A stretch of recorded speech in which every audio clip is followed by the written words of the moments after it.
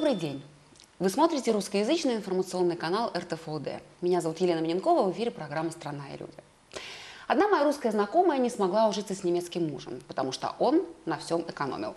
Другая, напротив, хвалит своего супруга за его бережливость. Один мой коллега несколько лет судится со своей бывшей немецкой женой за возможность воспитывать своих детей. А его друг носит свою благоверную на руках и говорит, что женщины милее и добрее в своей жизни не встречал. Сколько людей, столько и историй. Тема сегодняшней программы – русско-немецкий брак. Инструкция по применению.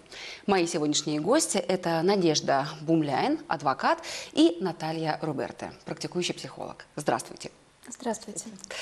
Наталья, скажите, к чему нужно быть готовым, когда ты выбираешь в супруге гражданина или гражданку Германии? Ну, надо сказать, э, Хочется сначала расслабить немножко наших зрителей, и, потому что представление о том, что интернациональный брак – это обязательно только проблемный брак, это не совсем верно.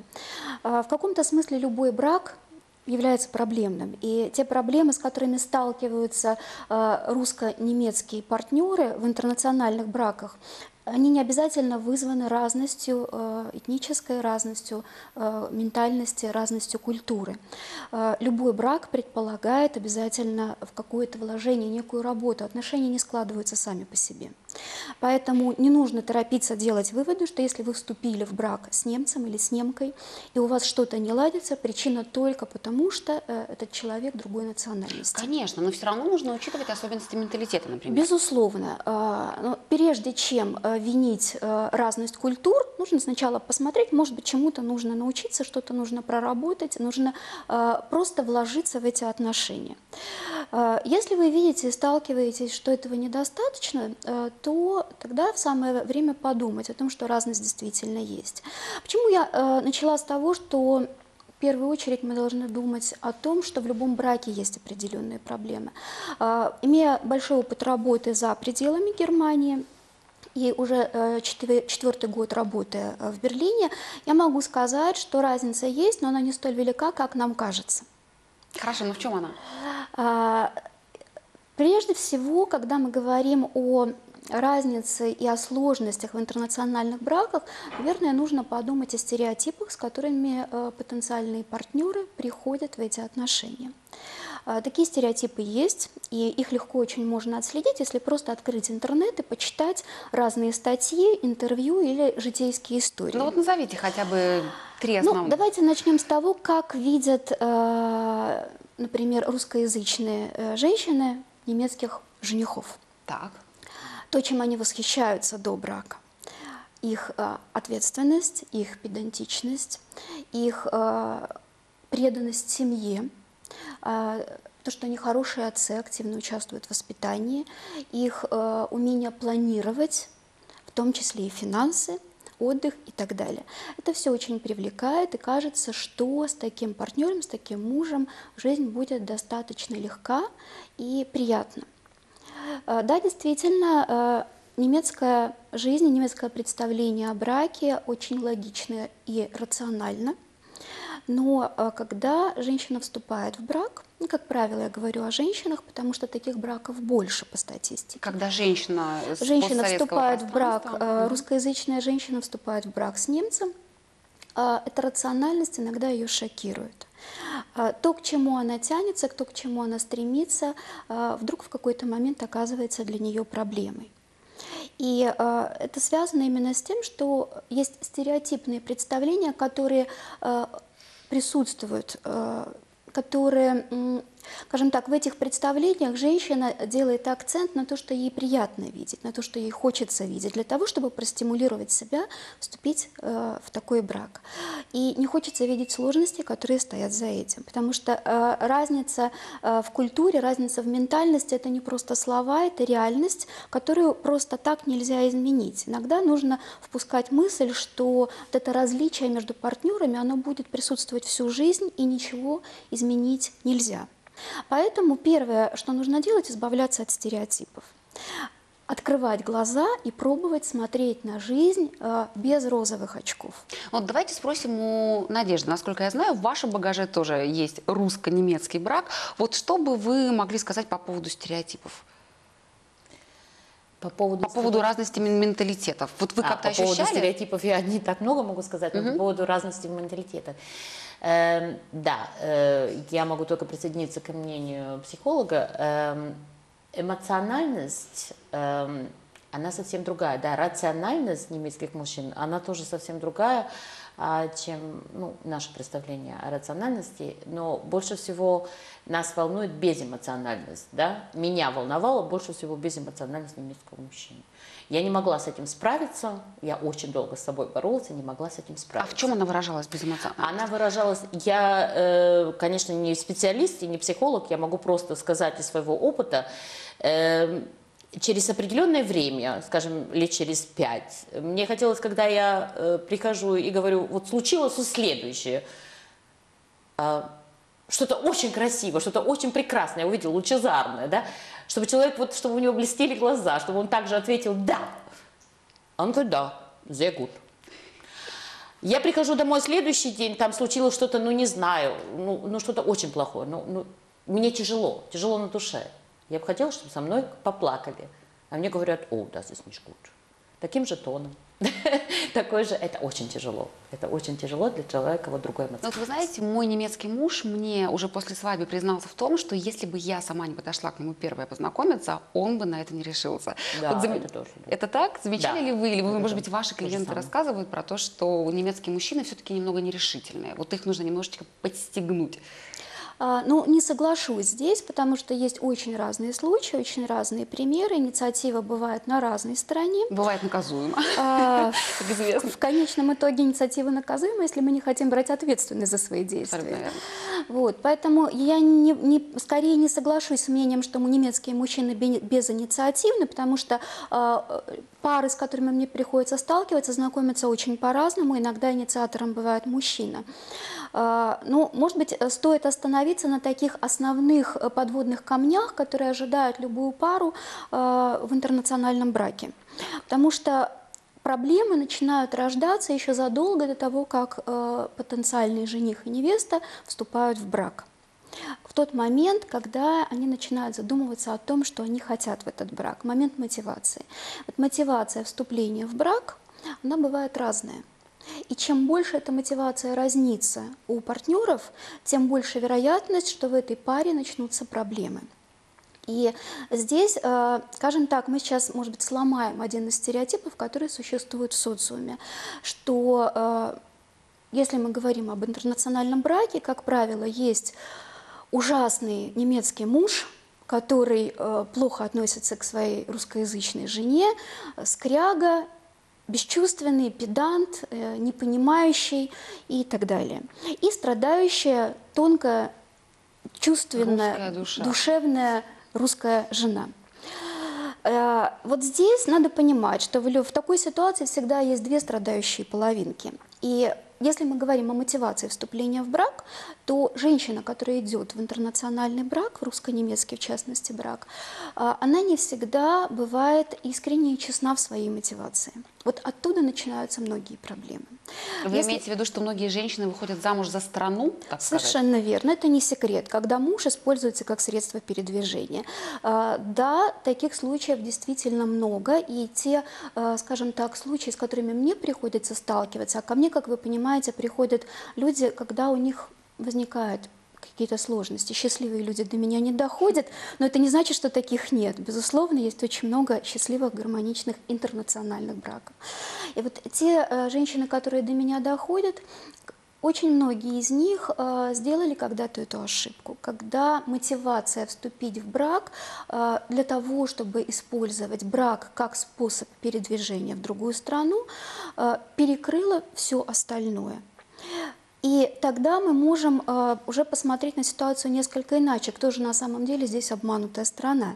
Ведь немецкий жених, он входит в такие отношения именно с целью построить отношения. Он ищет жену, он ищет партнершу.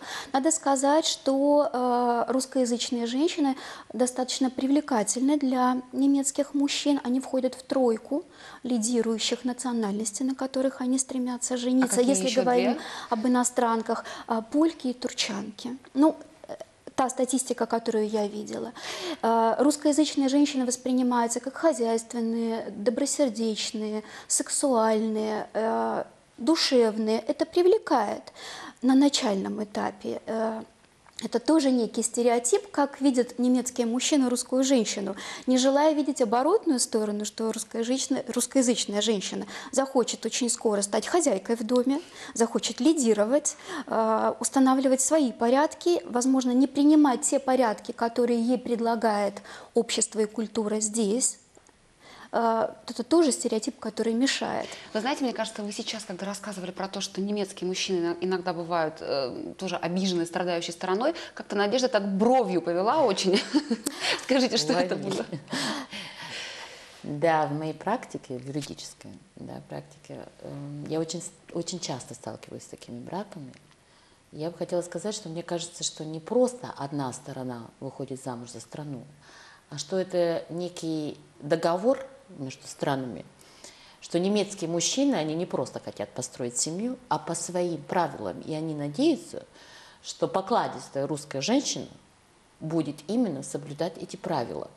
Они прекрасно знают тоже, они а, а, вообще поч- практически всегда в курсе, что моя партнерша выходит замуж за страну. А я выхожу, а я женюсь для того, чтобы соблюдали мои правила. Потому что наши женщины, они мне даже это говорят, потому что наши женщины не готовы следовать за мной. А что это за правило? Ой, любые, любые правила. Например, дома я хочу, чтобы у меня была хозяйка. Немецкие женщины очень часто отказываются быть хозяйкой просто. Да? Вот у меня, как вы говорите, вот представление о моем браке, я немецкий мужчина, у меня будет хозяйка дома. Поэтому у нас очень часто жены, кого берут в жен? Русские и талантки. У нас очень много талантов. Просто. Много чего? Таиландок. таиландки. Прежде всего русские и да. Почему? Потому что они вежливы ко мне. Они не холодные. Вот, у них тоже свои представления. Они очень Безусловно, хорошо- безусловно, Да. Надежда. И здесь Но- тоже да. э, то, о чем вы говорите, оно присутствует однозначно. И э, здесь тоже кроется определенная, скажем так, опасность попасть в недобросовестные отношения. Но давайте будем опять-таки честными и увидим, что в эту опасность женщина ставит, в эту опасную ситуацию женщина ставит себя сама. Почему? Почему она соглашается? Изначально, как ей кажется, она соглашается. Просто потому, что ею движет желание любым способом выйти замуж за иностранца. Это во-первых. Ну и во-вторых, тому же сейчас уже стало проще, но раньше девушка в 25 лет, которая не замужем, в России воспринималась как? Как Ну, старая никому не нужная В России девушка. это сейчас тоже присутствует. В территории постсоветского пространства э, этот стереотип, что нужно выйти там до определенного возраста. Любой ценой, а, причем, Любой заметьте. ценой. Этот стереотип там есть и сейчас, но богу, дело, меньше. как правило, не в этом. Когда мы говорим об интернациональных браках, очень часто женщины, которые выходят замуж за немцев, это женщины, уже имевшие опыт брака, и очень нередко даже с детьми или даже с несколькими детьми. Надо сказать, немецких мужчин это не останавливает, они достаточно охотно женятся на женщинах с детьми. Вот. И э, тем не менее я хотела бы все-таки расставить акценты, показав, что вот таким э, шагом, вот такой мотивацией любой ценой выйти замуж за иностранца, закрепиться в этой стране, женщина сама себя ставит в проигрышную позицию. Вот это представление, что да, лишь бы только бы переехать, а там уже мы договоримся, там все выровняется, но очень ошибочное. Лучше не будет. Все самое лучшее происходит всегда в конфетно-букетный период. Дальше будет только сложнее, дальше будет только хуже. Ну а как быть, например, если у будущих супругов нет возможности провести время вместе, пожить? Ну хорошо, даже, допустим, если они съездили в отпуск на две недели на море, все равно это вот та самая конфетно-букетная стадия. А как быть, как понять, вот стоит выходить замуж за немца или нет, или жениться на немке или нет? Тем не менее, не торопиться. Да, вот здесь, э, надо сказать, еще одна из черт, которые привлекают э, в русскоязычных женах э, немецких мужчин, то, что они быстро соглашаются на брак. Не надо долго ухаживать, это требует меньше вложений, и ресурсов, и финансовых в том числе. Женщина быстро готова на брак. И это опасно. Почему? Это опасно, опять-таки, для женщины. Она рискует не разглядеть проблемность, возможную проблемность будущего жениха. А, Есть такое представление, что, например, через сайты знакомств в большинстве случаев знакомятся мужчины с какими-то скрытыми или явными проблемами. Мы не можем говорить, что это только так, но мы не можем делать вид, что этого нет. Действительно, часть мужчин, которые ищут знакомства через сайты, а, это мужчины, которые не нашли себе применение в своей стране э, или по каким-то причинам ищут жену как вот Надежда говорила, зависимую, покладистую. Э, Это может, может, я не говорю, что это обязательно говорит о, о имеющейся проблеме, но это может говорить, э, что не все благополучно у этого мужчины. И вот чтобы понять истинную картину, если действительно женщина думает о своей безопасности, о своем благополучии, то торопиться точно не стоит. Знаете, есть такое убеждение у психологов, что истинный человек всегда проявляется в любви и на войне. Вот надо попробовать с этим человеком побывать в разных ситуациях. Возможно, провести вместе отпуск, возможно, э, сделать ремонт дома, поклеить обои в конце концов, почему нет? Или, может быть, э, приехать и просто побыть, пожить вместе обычной жизнью, посмотреть, как э, человек общается с другими людьми, э, как он разговаривает, э, например, с обслуживающим, с обслуживающим персоналом, какие у него отношения с предыдущими супругами, детьми от предыдущих браков, если такие есть. Да, но эти рекомендации касаются, наверное, не только немецких мужчин или женщин, что в принципе Безусловно, но когда мы говорим об интернациональном браке, это особенно важно, потому что именно в таких бытовых мелочах проявляется истинная природа человека. Надежда, вот вы живете уже более 30 лет в Германии. Вот как бы вы могли охарактеризовать немецких мужчин? Чем они так принципиально отличаются от российских? некая, э, как сказать, надежность э, да, в отношениях, э, которая я считаю, что у русских мужчин часто отсутствует. Я могу, ну, как я, если я жена немецкого мужчины, э, очень часто я могу положиться на него, да. Э, Они не, не предатели, не обманщики, вот они прямолинейные, да, но этого не существует. Вот это все позитивно, я могу сказать. Работают они очень э, часто, чтобы не сказать все время. Негативно, я бы сказала, для меня было негативно, например, что эта работа, она, руков... ну, она руководила нашей жизнью, так сказать. диктовала да. условия. Мы работали ради работы, даже когда не надо было зарабатывать таких денег, да, это ради работы.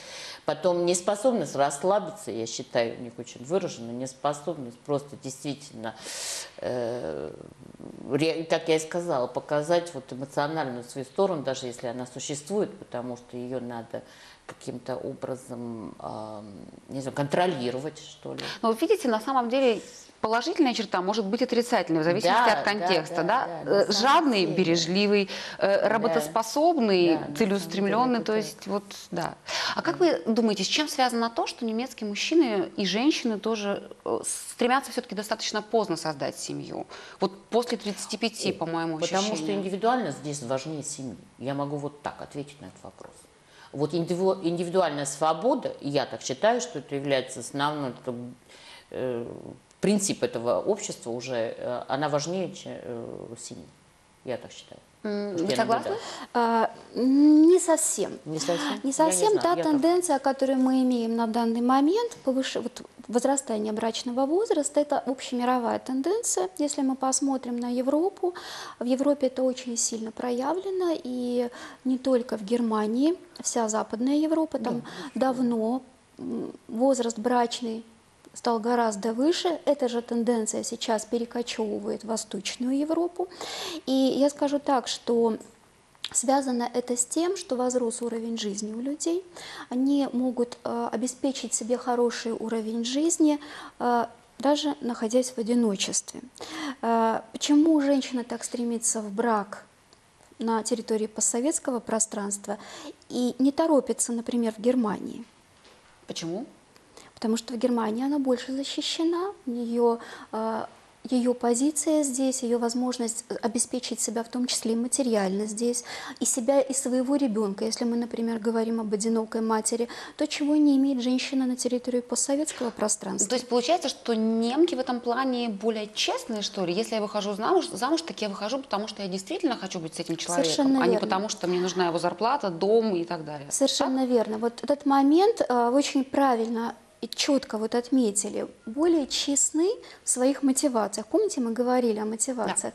И когда мы говорим, я сейчас не говорю о проблемных браках, когда э, немецкий мужчина хочет использовать русскоязычную жену. В качестве рабочей Да, силы, такое тоже есть. прочее. Я сейчас не говорю об этих браках, я говорю о тех браках, где действительно немецкий жених ищет э, жену для создания семьи, а у жены оказываются совсем другие мотивы. Ведь в этом смысле немецкий мужчина более честен, и он, как правило, очень четко формулирует и конкретизирует, что он может предложить. Никто не обещает э, золотые горы, никто не обещает там новые машины, драгоценности, и даже никто не обещает постоянно включенную батарею зимой в отопительный сезон.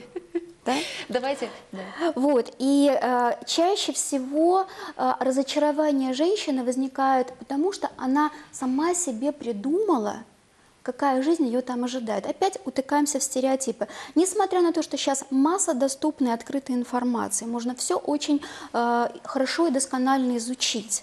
Но почему-то приезжающие сюда женщины э, едут с ожиданием, что здесь молочные реки и кисельные берега. Они здесь никого не ждут. Здесь ждет работа, и здесь ждет э, необходимость вписываться в местный контекст. Ну вот давайте я предлагаю на этом месте прерваться и посмотреть сюжет. Э, Мой коллега снял материал о том, как здесь живут русско-немецкие семьи.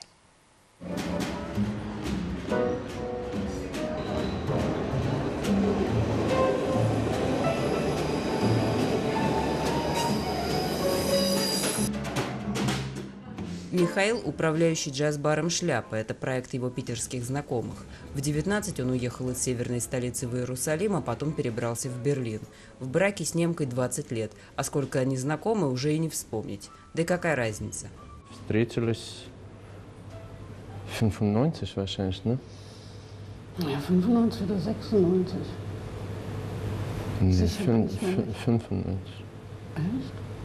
У меня была знакомая из э, Берлина, которая позвала туда на вечерину, и Клаудия там тоже была. И как э, там встретились, так, в принципе, с тех пор и не расставались. Столкновения менталитетов не случилось, потому что изначально они не измеряли друг друга общепринятой меркой ни в отношениях, ни в быту. Я не приверженец таких конкретных э, семейных разделений на, типа, ты стираешь и посуду и готовишь, а я хожу на работу, зарабатываю деньги. Это, я считаю, что это в каком-то смысле атовизм. И если люди живут вместе, то и все проблемы, обязанности, работа по дому, или как угодно это все называется, соответственно, вместе и делается. Поэтому нет, не было никаких ожиданий, что кто-то за меня там будет что-то делать. У Клаудии не только муж родом из России, но и много русскоязычных знакомых. Русские мужчины несколько строже немецких и менее толерантны. Allerdings. Ну, разумеется. Нетолерантны значит, что они все видят черно-белым. Люди либо хорошие, либо плохие. Это так и точка. Русский всегда все лучше других знает. Спорить с ними всегда сложно. Они как раз вчера за ужином говорили о национальных стереотипах. Только не называй имен. Среди наших русских знакомых и впрямь есть мужчины, для которых очень важно иметь большой автомобиль, дорогие часы и тряпки известных брендов. А Миша, он другой. Ему, конечно, тоже нужны часы, но только для того, чтобы показывать время. А машина, на которой мы ездим, это вообще развалюха.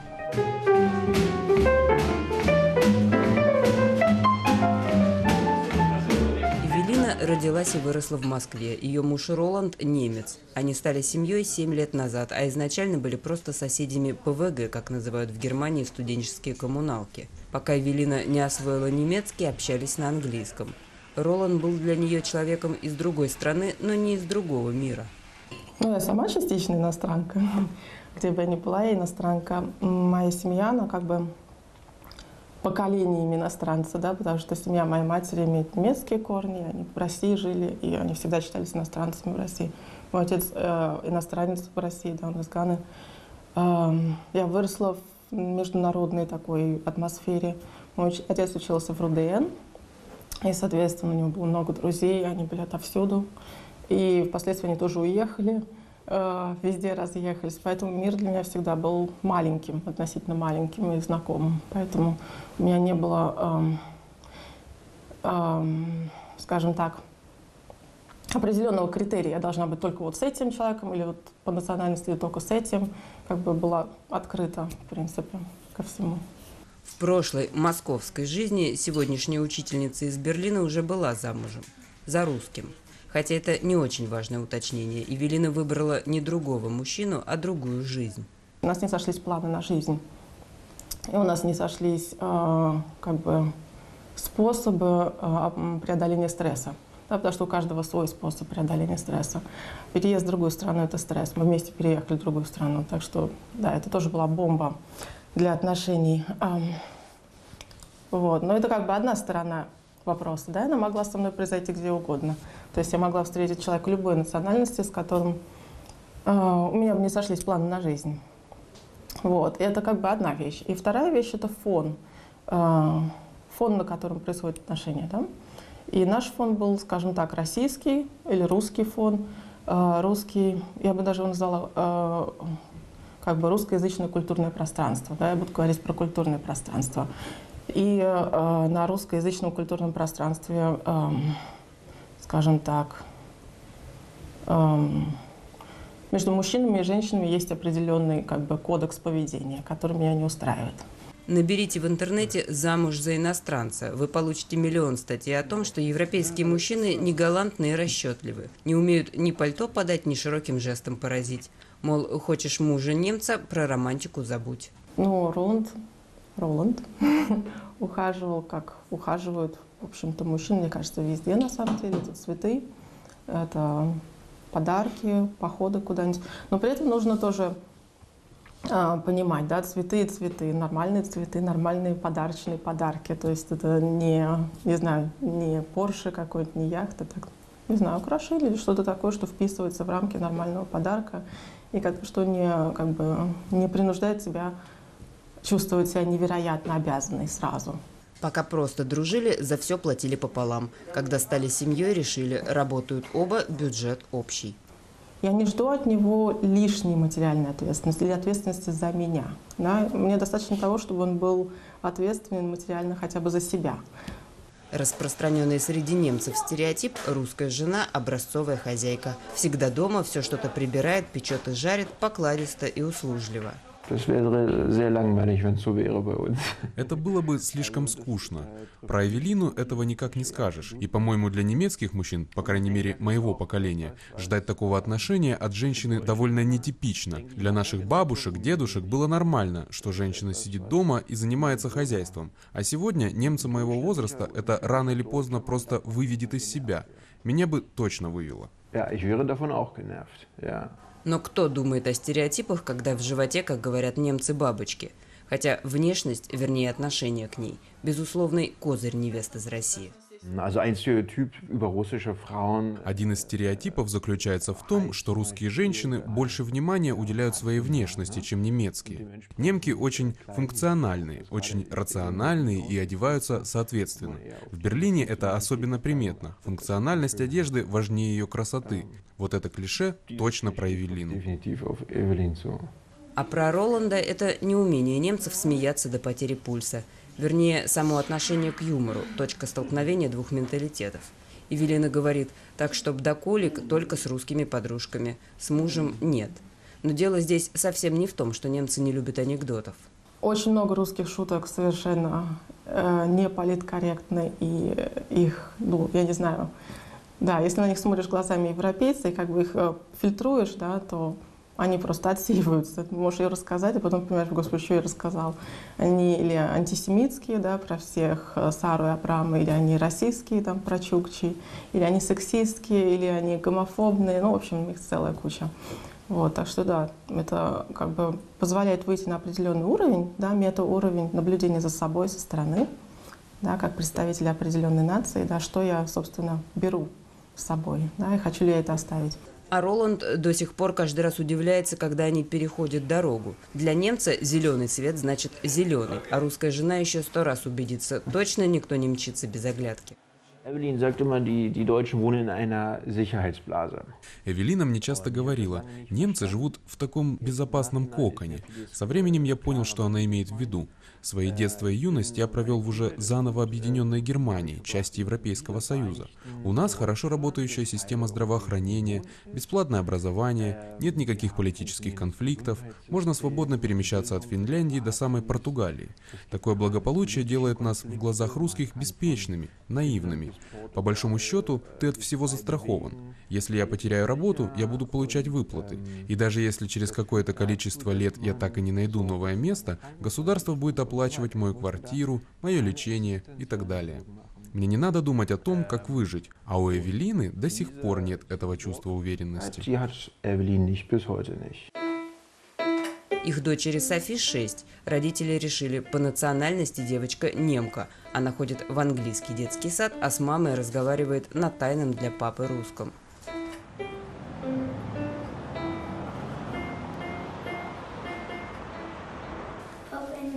Не спать, потому что мама все время храпит.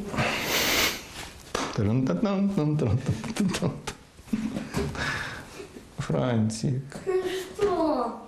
Если говорить о, о самой системе судебной, правовой, то я могу сказать, что это большое счастье, что я живу в Германии и что этот процесс происходит здесь. Потому что в Беларуси э, в Беларуси этого быть бы не могло. В Беларуси, в Беларуси это просто дети автоматически перешли бы к маме и все. Право быть отцом своих детей не только де юра, но и де факто Тарасу вот уже 6 лет приходится отстаивать в суде. При разводе он и его бывшая супруга, немка, сошлись на том, что будут передавать друг другу детей каждый понедельник. Одну неделю сын с дочкой живут у матери, вторую у отца. Не было никогда, что они на моей неделе хотели бы к маме, и я, скорее всего, я предполагаю и надеюсь, что так оно и было, что у них не было проблем, когда они приходили к маме, что они хотели ко мне. То есть они знали всегда, что, находясь у меня, они не должны меня спрашивать. Если у них есть потребность, они всегда могут подойти к телефону и набрать маму. Но они этого, в принципе, никогда не делали. И как бы я видел, что им, в принципе, комфортно, они не страдают. Я, я всегда думал о том, что если бы я видел, что они скучают или хотят, там, допустим, к маме, то я бы себе, естественно, задал вопрос, почему. Такой недельный график был утвержден на первом суде и всех устраивал в течение трех с половиной лет. Потом родительские обязанности пришлось делить заново. Она уже вышла замуж, забеременела, и тогда вот они со мной встретились и говорят, ну вот теперь у нас, мы теперь женаты, у нас есть большой хороший дом, и теперь, пожалуйста, дети должны жить у нас. Полмесяца назад бывшие супруги судились снова. Ну, потому что мама все-таки не ушла от той идеи, чтобы дети все время жили у нее. И, то есть она хотела, в конце концов, чтобы дети все время жили у нее, чтобы у меня они были только каждую вторую неделю с пятницы по воскресенье. И чтобы каникулы были только одна третья часть у меня, чтобы, чтобы я каким-то образом получил запрет на то, чтобы дети ездили в Беларусь к моим родственникам. Тарас попросил нас не снимать его детей и очень тщательно подбирал слова, рассказывая об их маме. Можно понять, впереди еще не один суд, и ему не хочется усугублять ситуацию. Ксения Максимова, Кирилл Бутырин, Юлия Гузенфельд, РТФУД, Берлин.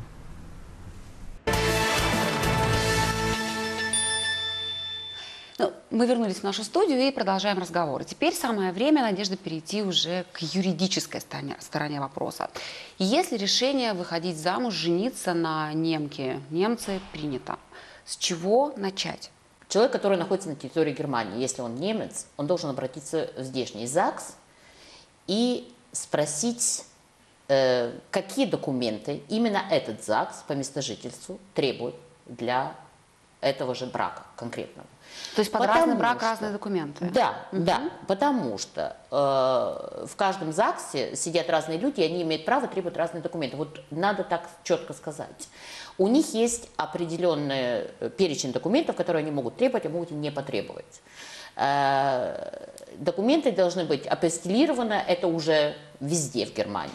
Да, это действует везде. Давайте поясним, Но что такое апостиль. Это специальный Апостиль – это специальная печать, которая удостоверяет, что этот документ может быть использован, я вот так скажу, не технически, может быть использован э, и иметь юридическую силу на территории Германии. Да?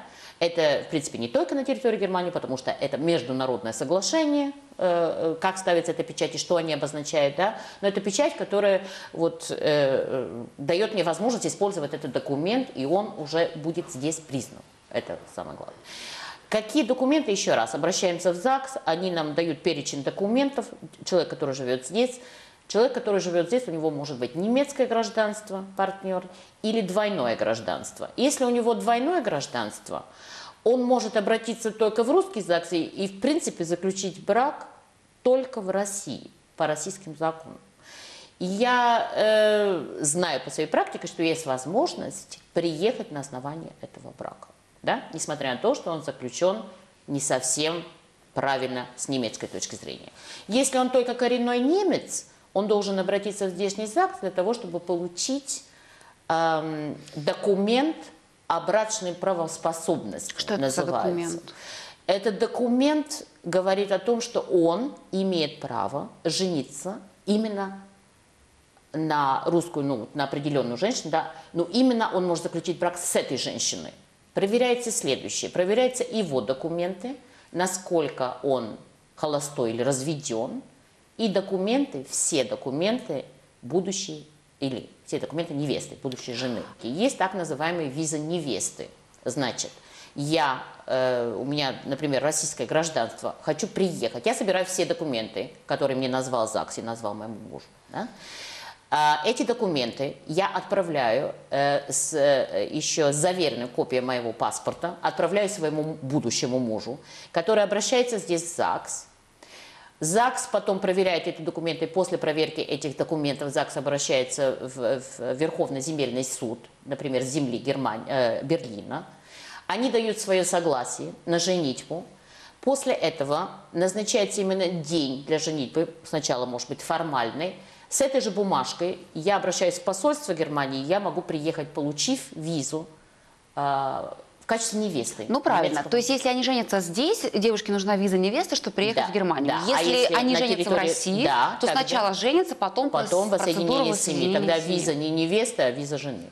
Хорошо. Сколько, как правило, длится воссоединение семьи? Воссоединение семьи длится шесть- ну, с 3 до 6 месяцев, даже до 8. В зависимости куда. В Берлин это может длиться очень долго, до 6 месяцев, до 8 даже. Знаете, как очень часто возникает вопрос. Например, девушка приехала сюда на учебу, то есть по Да. студенческой визе. Да. Во время учебы познакомилась, влюбилась, Да. хочет выйти замуж. Да. Возможно это сделать с визой студенческой, Да. туристической, например? А это две разные вещи. Вот Хорошо, видите. давайте рассмотрим обе. Э, туристическая виза. С туристической визы, приехав по туристической визе, э, будучи уже да, замужем или как-то, как-то вы умудрились здесь это быстро-быстро сделать и выйти замуж, остаться здесь вы не можете, говорит закон, говорят правила. Мы говорим, если вы к нам придете в качестве клиента, мы скажем, ну, давайте посмотрим вашу конкретную ситуацию.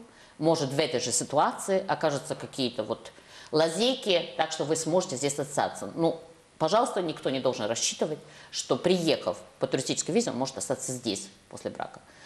Какие лазейки бывают? Во-первых, есть э, на самом деле ведомство по делам иностранцев, которое разрешает тем людям, которые успели заключить брак здесь по туристической визе, просто разрешают остаться здесь. Они не обязаны это сделать, в законе стоит можно, они могут. Например, по в каком своему случае? усмотрению. Например. Без в каком случае? Это маленькие. Обычно эти ведомства по делам иностранцев маленькие, да. В каком случае они могут остаться? В любом случае, это когда беременность, это я могу обещать, что если вдруг э, девушка или женщина забеременела, э, в принципе, после 12 недель беременности они имеют право только здесь остаться, несмотря на то, что она приехала по туристической визе. Э, но можно и до того, если есть определенная справки от врача, которые говорят о том, что она беременна, мы можем, ну, это, это можно юридически сделать, это можно, у нас есть аргументы сказать, что она имеет право остаться. Потом, если муж болеет, есть такие случаи, э, например, если у него заболевание психическое, да, потерял первую жену, например, у нас были такие случаи, онкология, Э, или э, потеря каких-то близких, да, и на этом основе у него психическое заболевание, он должен лечиться. В случае, что его жена уедет, да, а он не знал об этом, они как-то вот заключили брак, она по туристической визе, и он не знал, это его приводит в какое-то в некое состояние шока. Если нам врач говорит, что да, если это она уедет, это будет очень здоровье. плохо для угу. него, скажется для него, будет усугубление э, вот той же самой психической болезни, то э, жену можно оставить здесь. Если студентка или человек э, здесь, который приехал по контракту работать, специалисты, человек, который приехал по, по другим причинам, на лечение также, бывает гуманитарный вид на жительство. Если э, такая же женщина, девушка или мужчина вышли замуж э, или женились, Женились. соответственно, то э, они могут здесь заключить брак и остаться здесь. Это предусмотрено законом. Они не должны покинуть страну сначала и въехать назад. А на основании чего они могут остаться здесь? Потому что у них не временная виза, а у них э, так называемая Aufenthaltsgenehmigung. Разрешение это значит на разрешение на пребывание в Германии. Не туристическая виза. Туристы не имеют права остаться. Туристы их не проверяли. А вот этих людей, которые приехали э, по студенческой визе, например, их проверяли. Они знают, о ком идет речь, у них заведено здесь дело, у них есть разрешение на пребывание в Германии. И по закону э, после заключения брака они имеют право остаться здесь. Я думаю, вот своим заявлением вы сейчас облегчили жизнь просто тысячам женщин, мужчин, да, которые бедные собирают месяцами документы на визу для брака. Раньше было очень популярно жениться в Дании, выходить замуж для того, чтобы якобы избежать формальностей, которыми славится Германия. Да. Как сейчас с этим? До сих пор э, мы советуем клиентам заключить брак в Дании. Почему? Потому что заключить его очень легко по сравнению с тем, с тем это, это просто как, такой набор документов требуется на территории Германии, что нужно его собрать уже нужны месяцы просто, еще апостелировать и так далее. В Дании все очень легко по сравнению, но как обстоят дела с Данией, с воссоединением семьи в Дании? Если я въехал по туристической визе, в э, в Германию или в Данию? В Германию. Сначала, потом в Данию, это уже не важно. Потом поехали, поехал в Данию, э, заключил брак и возвращаюсь в Германию и прошу вид на жительство, ну, прошу меня признать. оставить разрешение, да, угу. признать, признать брак, брак признается. Давайте вот, это, извините, пожалуйста. Э, юридически брак признается. Это без вопросов. То есть брак, совершенный Его на территории Дании, признается он в Германии? Он, да, угу. он признается без никаких документов. И есть некие учреждения, которые требуют уже предоставьте, пожалуйста, бумагу о том, что вы не замужем были во время заключения брака и так далее. Они могут его перепроверить, но сказать, это не действующий брак, мы его должны признать сначала, такого нет, не существует. Но как остаться здесь? Если у меня туристическая виза, заключив брак в Дании – я не могу вернуться в Германию и остаться здесь. Я должен поехать назад в Россию и провести вот этот весь процесс воссоединения с семьей. У меня другого выбора нет. Ну, то есть, по сути, можно Почему? сразу ехать в Россию и Ну, по сути, да. Начинать ну, да, да. После, я, мы так и говорим, после данского брака, пожалуйста, в Россию и начинать воссоединение семьи. Но зато уже у меня брак. А позиция вот после, мои вот юридические позиции после э, заключенного брака с немцем гораздо сильнее, чем просто быть невестой. А вообще принято заключать брачный контракт здесь, в Германии, создавая семью?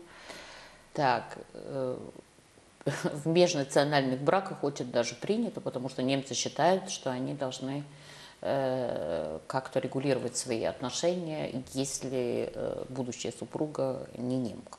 Когда немка тоже, в принципе, принято. А что там прописано основное? А, четко могу ответить на этот вопрос. Прописано, э, можно прописать, э, по какому закону мы будем разводиться, можно прописать и нужно прописать, э, что будет с нашими э, притязаниями, пенсионными притязаниями, приобретенными за время брака, будем ли мы их делить, будем ли каким-то образом компенсировать, потому что это очень длинный и мучительный процесс в Германии в случае развода деления пенсионных обеспечений, приобретенных за время брака. Можно и нужно прописать, э, что будет с алиментами, кто кому будет платить, как долго, будет ли он платить и в каких случаях, ограничить то, что в законе стоит, или даже расширить. Можно прописать, что будет с мебелью, да, которая находится в квартире. Да, да, да, все-таки да. Наталья, ну вот такая немецкая практичность не убьет романтику в отношениях? Вот, вот очень интересный момент. Э, э, убьет, если, э, опять-таки, идти со своим уставом в чужой монастырь. Вот то, о чем сейчас говорится, это все реалии жизни Германии. Это часть жизни, нравится или не нравится русскоязычным невестам, которые сюда приезжают. Это так, и это будет так всегда. И если начинает происходить восприятие этих вещей как «ах, он вот так отвечает, значит, он меня не любит. Ах, он не реагирует, не включается вот так же эмоционально в какие-то мои переживания, как и я, значит, он ко мне плохо относится. То тогда мы шаг за шагом убиваем вот ту возможность построить теплые отношения, потому что э, гармоничных пар среди смешанных браков тоже очень много.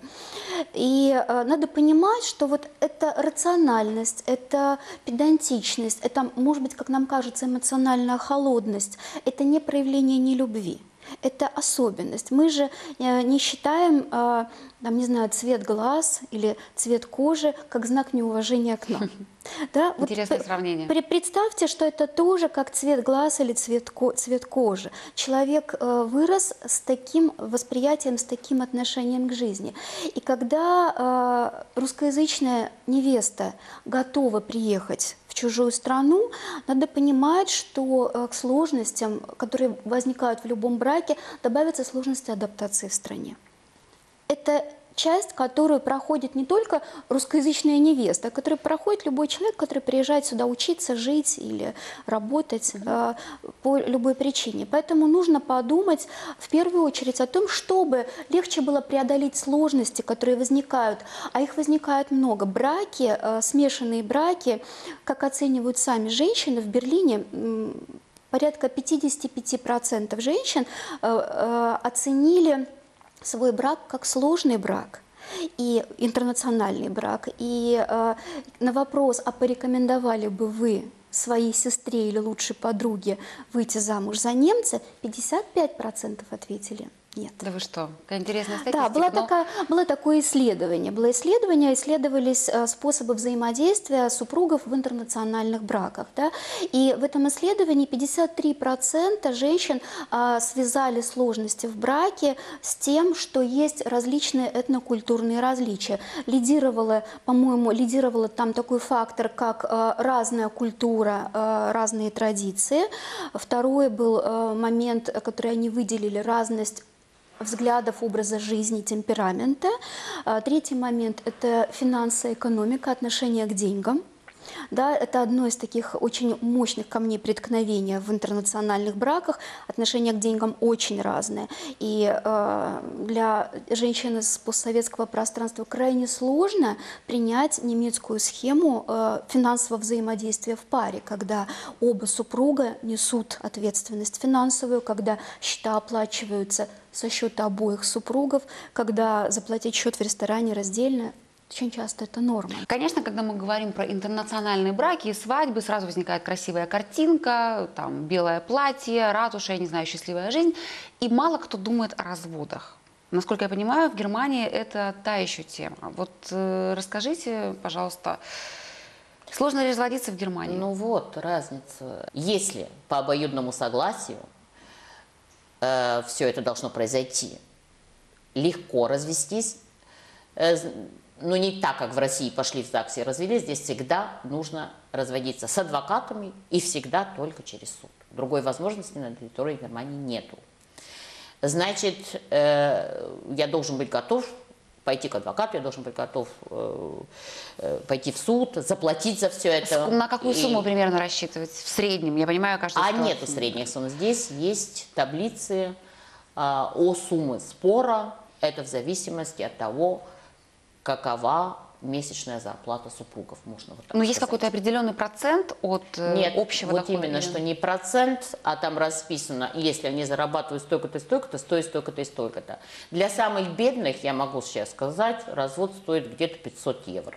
И не хочется заканчивать нашу программу на негативной ноте, поэтому перед тем, как мы прощаемся, я бы хотела, немножко подытоживая, попросить вас э, либо призвать, либо предостеречь тех людей, которые собираются вступать в интернациональный брак. Вот давайте начнем с вас, как с психолога. Ну, знаете, если попробовать дать несколько рекомендаций будущим невестам, но опять говорю, мы больше говорим о женщинах, что э, ну, так сложилось, что мужчины редко женятся на немках. Русские мужчины не входят даже в десятку популярных женихов среди немок. Вот. а, Ну, наверное, вот советы, которые я озвучу, может быть, они далеки от психологии, как может показаться, но на самом деле они очень близки к ней. А, Потому что успешная адаптация в браке, как я уже говорила, зависит от того, как женщина себя здесь чувствует, насколько она уверенно себя здесь чувствует, насколько включенной себя здесь чувствует. Поэтому, если есть такая задумка, если хочется выйти замуж за немца, переехать в другую страну, почему нет? Да, мир большой. Начать надо с того, что заранее позаботиться о, себе, как я буду здесь жить. Постарайтесь, попробуйте получить профессию, которая будет универсальной, которая, возможно, сможет дать вам здесь возможность работы. А, Потому что очень часто дипломы о высшем образовании сложно подтвердить, и умные, образованные, способные женщины оказываются не у дел. А, Постарайтесь начать заранее учить немецкий язык. Это очень важно. Язык непростой, он многим дается тяжело. И рассчитывать, что получится легко и нахрапом, очень это наивно. А ведь возможность общаться, общаться с мужем будущим на языке, его родном языке, общаться с его родственниками, с кругом его друзей. Это одна из таких важных задач, ведь если там не получается выстроить контакт, выстроить отношения, то только усугубляет разрыв между людьми. Найдите ресурсы, чтобы побольше общаться с человеком, с которым вы старая, будете, планируете жить. Не пожадничайте, не пожалейте денег на адвоката. Это очень важно, потому что это ощущение безопасности. Хотя бы прояснить правовой статус, свои права в трудовой сфере, свои права в семейной сфере, э, отношения воспитания детей. Э, Это за- защитит женщину от э, возможного попадания в роль жертвы, когда ее начинают недобросовестно использовать в отношениях. Я лично не хочу никого предостерегать, наоборот, э, я считаю, что эм, если человек решил, э, он должен э, сделать так, как он решил, в Германию приехать и здесь э, интегрироваться для русских обычно это не так сложно, не как для азиатов, например, для них ужасно, безумно сложно.